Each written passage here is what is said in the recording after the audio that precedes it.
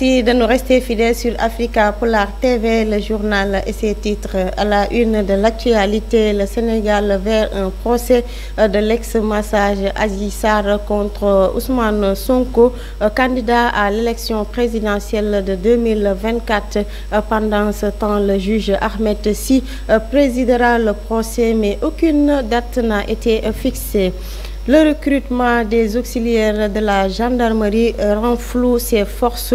Rendez-vous est donné le samedi 23 janvier 2023 à la salle des spectacles du quartier Samba Diri Diallo. L'actualité hors de nos frontières et celle sportive boucleront ce bloc d'informations.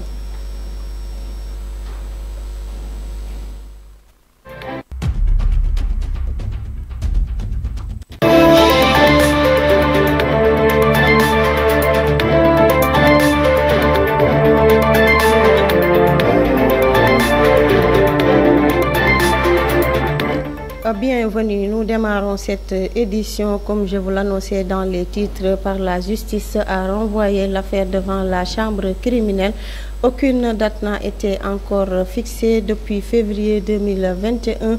L'ex-employé d'un salon de massage de Dakar accuse l'opposant et candidat à la présidentielle de viol. Ce dossier, source de témoins, à attention plutôt à contribuer aux émeutes meurtriers de mars 2021.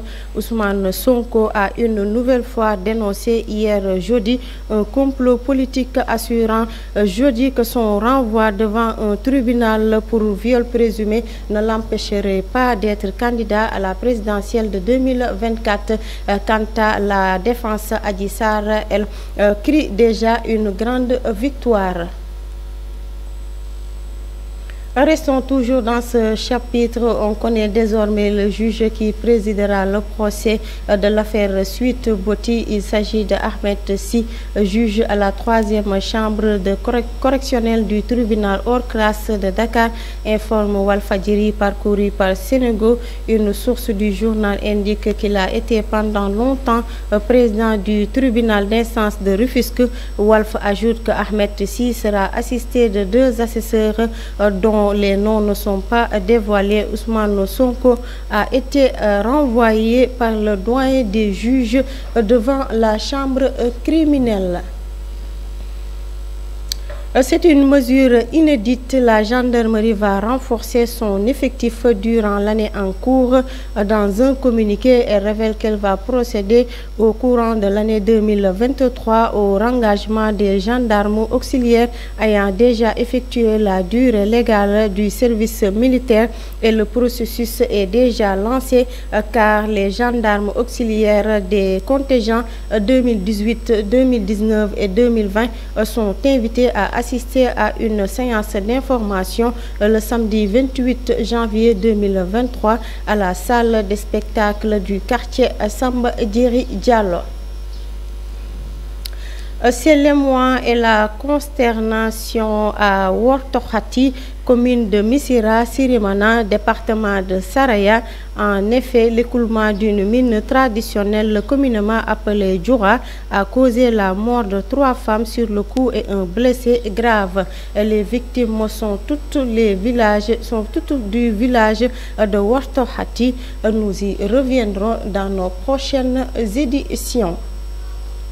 L'actualité hors de chez nous, nous la démarrons au Mali. Les Nations Unies envisagent le renforcement du nombre de leurs casques bleus, mais également le retrait total lors du renouvellement du mandat de la en juin dernier. Dans un contexte tendu, les Nations Unies avaient annoncé un rapport évaluant les besoins et le contexte d'intervention de la mission onusienne. Ce rapport doit être publié d'ici fin janvier. Le One Forest Summit, sommet consacré aux enjeux forestiers, se tiendra les 1er et 2 mars 2023 à Libreville au Gabon, un rendez-vous auquel doit participer le président français Emmanuel Macron. Or, cette visite aura lieu à quelques mois à peine de l'élection présidentielle, ce qui n'est pas du goût de certains acteurs de la société civile gabonaise. Il y a trois mois, le 20 octobre, une manifestation de l'opposition interdite par les autorités était violemment réprimée. Le soir même, le pouvoir de, transition autorité annonçait un bilan de 50 morts et près de 300 blessés.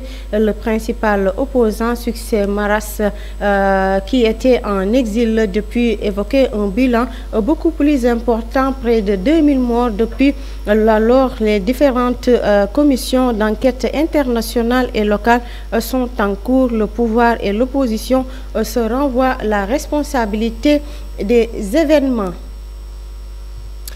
Euh, sans plus tarder, passons à l'actualité sportive. C'est une affaire de Salif Seydi. C'est juste après ceci.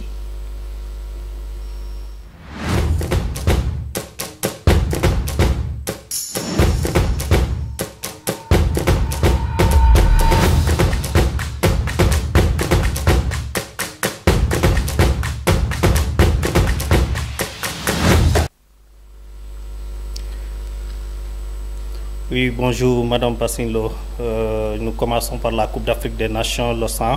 Hier, le Madagascar a battu le Maroc par 3 buts à 0. Le Ghana a battu le Soudan par 3 buts à 1. Euh, en première ligue anglaise, euh, hier, Manchester City a battu Tottenham par 4 buts à 2.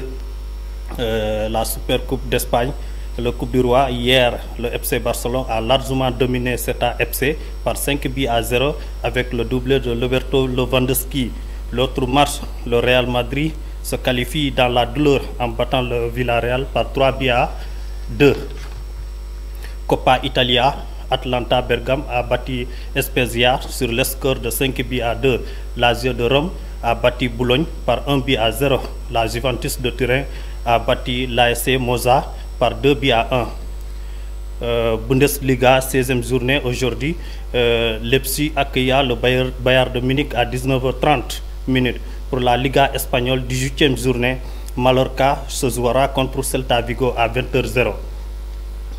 Coupe de la France, aujourd'hui à 20h10, l'Olympique de Marseille accueillera Stade Rennais sans son gardien titulaire Stéphane Mananda qui fera pas son retour au Vélodrome ce vendredi, ce qu'a annoncé son entraîneur en conférence de presse Bruno Benicio euh, hier en marche amicale le Paris Saint-Germain a battu Riyad par 5 buts à 4 avec le but de Lionel Messi pour le Paris et un doublé de Cristiano Ronaldo pour Riyad en, en tant que capitaine.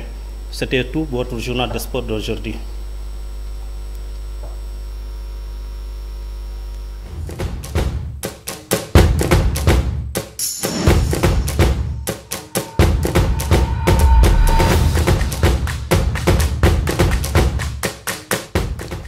Merci Salif Seydi pour ces informations sportives. Un grand merci également à toute l'équipe technique et celle de la rédaction. D'ici là, portez-vous bien. Bon week-end et Juma Moubarak.